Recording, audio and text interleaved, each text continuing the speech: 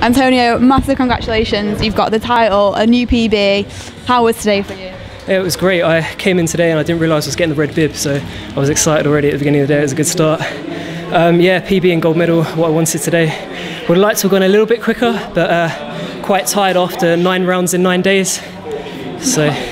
Obviously, am- am- amazing winter season so far. How does that? How, how confident do you feel now for outdoors and such a big year as well? How confident are you feeling for that? Yeah, I mean, pretty good. I'm working with uh, Marty Newman uh, down at Lee Valley, uh, Lee Valley Athletic Centre and uh, working on some mechanics, like bits and pieces. A lot more to work on considering I ran 6.9 in the 60 and 20.9 in the 2. It doesn't quite equate yet, but uh, we'll get there come outdoors. And you've, you're obviously doing your DJ on the side and still Vinco stuff. How do you fit all of it in?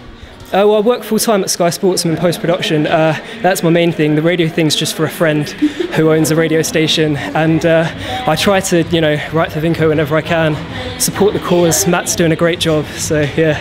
Obviously, there's not a 200 at Europeans. Do you have any more events left for the indoor season? Uh, no, I, I open up on uh, Wednesday the 4th in Finland, and as I said, I had three rounds there, three rounds Birmingham Games, and three rounds today. So my body's taking a bit of a battering. So I'm going to have a quite a nice, easy week, and then uh, get going for outdoors and try and make the Beijing qualifier 2050. I think if you can PB with nine rounds behind you, then you, you must be really confident for the outdoors. So massive congratulations and good luck. Cheers.